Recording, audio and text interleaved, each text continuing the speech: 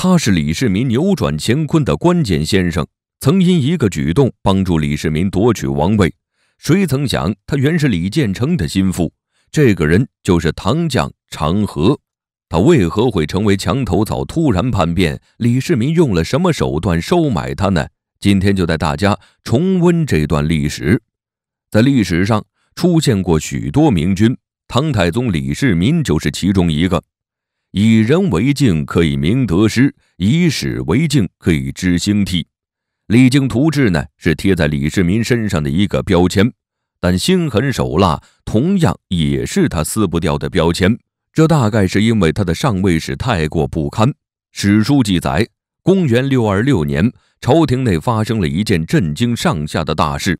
这一天，李建成、李元吉准备进宫面见老爹李渊，谁能料到死期将至？李世民竟然不讲武德，带领自己的人马埋伏在宫中。两个人在经过玄武门时，李世民直接带人出来杀了出来。李建成和李元吉当场毙命。这就是震惊历史的玄武门之变。几天以后，李世民被册封为太子。几个月以后，李渊传位李世民，自此开启了唐太宗的时代。不难看出。李世民能够当上皇帝，关键在血洗玄武门。但是，对于身处劣势的李世民，为何能取得成功？真相始终是扑朔迷离。随着一个叫长河墓碑的碑文抄本面世，一个名叫长河的小人物逐渐浮现在人们眼前。这个长河呢，在唐朝史书上的记载很少，但不难看出，他在历史上有着至关重要的位置。早在隋朝末年，各路英雄好汉揭竿而起，反抗朝廷。许多地方甚至形成了具有一定规模和组织的起义军，而长河就在其中。长河本身就是个大老粗，打仗时英勇善战，甚至当上了某个起义军的首领。除了长河所在队伍外，还出现了一些比较强悍突出的队伍，例如李密的瓦岗军。而长河因为立下不少军功，逐渐积攒了一些名气，被李密收到了麾下，被授予了上柱国、雷泽公等职位，很是受到重用。然而好景不长，战场上没有常胜将军，再强大的军队那也有打败仗的一天。在一次与王世充的军队对抗时，李密军队受到了重创。那时身处乱世，任何一次失败都有可能招致万劫不复的下场。恰巧这时，李渊在长安称帝，建立了唐朝。长河知道这是一个苟活的机会。此时的唐朝虽然才刚刚建立起来，但是民心所向，发展起来那是迟早的问题。而唐朝一旦稳定下来，也一定会来镇压他们这些自编军队。实际上，这时的李密军面临着两个选择：要么呢被王世充打败，要么就被李渊打败。既然如此，为何不直接向李渊投降？说不定还能得到重用，谋得一个辉煌的前程。想到这些，长河便开始极力劝说李密归顺李渊。李密虽然心中不是很情愿，但形势所迫，也只有俯首称臣。而长河自然也跟着李密投降李渊，还被赐予了骠骑将军的职位。长河究竟是何方神圣呢？一个小小的守门员，竟成就了大唐的最强帝王，这中间到底有什么不为人知的事呢？我们接着往下看。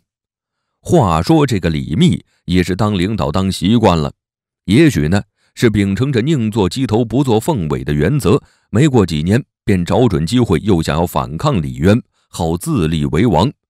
长河知道后，内心也是忍不住想要翻白眼儿。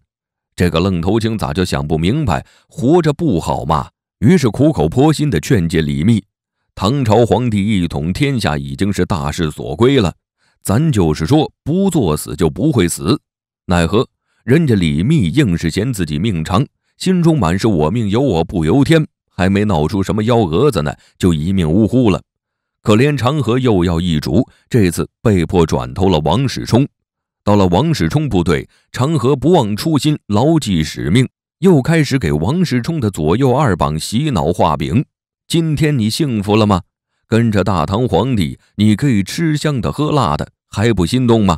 王世充也不是傻子，渐渐对长河挖墙脚的行为有所察觉。长河也有所感应，赶紧收线，带着被策反的人投奔大唐。据历史记载，对于长河的再次主动归顺，李世民表示热烈欢迎，并且主动接待。唐高祖李渊也是夸赞长河懂得变通，并且对于他英勇的行为表示奖赏。这次呢，长河被授予了车骑将军的职位。只是对比起来，不难发现。长河这次受到的封赏远远比不上上一次封后，能够看出李渊打心底对于长河复叛的行为是有看法的。归顺大唐以后，长河开始跟着李世民的心腹刘弘基作战。公元六一九年，王世充率军攻陷益州，后又继续进攻西冀州。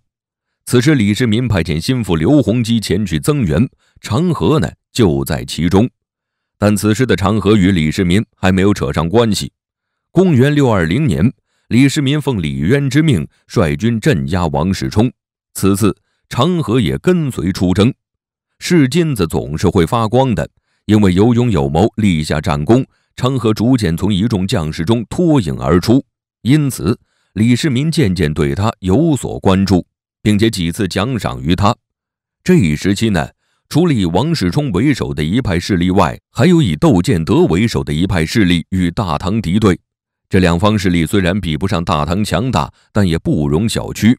公元六二二年，窦建德的部下一名大将刘黑闼集结大量士兵，想要再次反击唐军。此次长河跟随太子李建成出战，李建成十分重视这次的战役。当然了。在长河和魏征的帮助下，李建成此次大获全胜，剿灭了刘黑闼。外战平定以后，王魏之战就此打响。长河这个小人物的一个举动，竟然直接决定了李世民的成功。那他到底做了什么呢？公元六二四年，李世民与太子李建成之间的明争暗斗越来越激烈。史书记载。太子李建成曾私下招兵买马，想要抓住李渊外出避暑的时机，刺杀李世民。可惜事情败露，好在找到一个替死鬼顶替。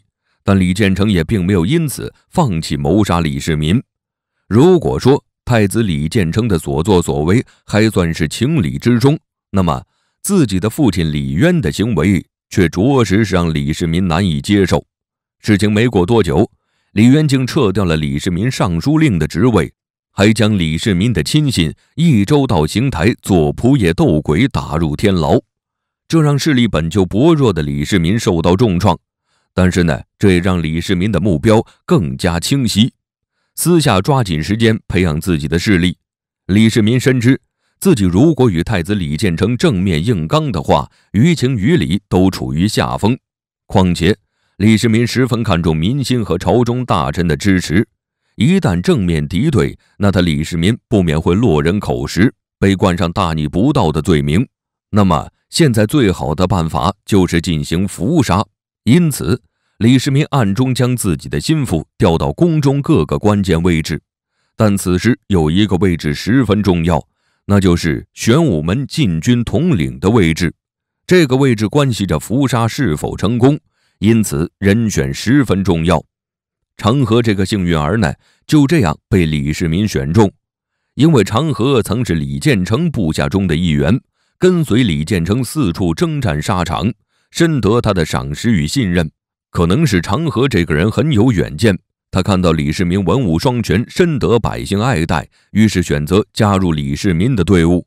总之。因为他的存在，李建成和李元吉才放心大胆地穿过玄武门。至此，李世民顺利完成伏杀之后，更是顺理成章地登上了太子之位。玄武门事变以后，李世民也赐给了长河高官厚禄。对于这段历史，常常有两派持不同看法。一派认为，史书呢是胜利者的玩物，所谓被逼无奈，为了自保才发动玄武门之变。都是李世民为了名垂青史，故意将自己洗白，而另一派认为史书就是事实，因为太子李建成看到李世民屡立战功，又深得民心，怕他威胁自己的地位，因此一直对李世民咄咄逼人。而李世民呢，在走投无路的情况下才会选择反击。那么，事实究竟如何，只有自己揣摩了。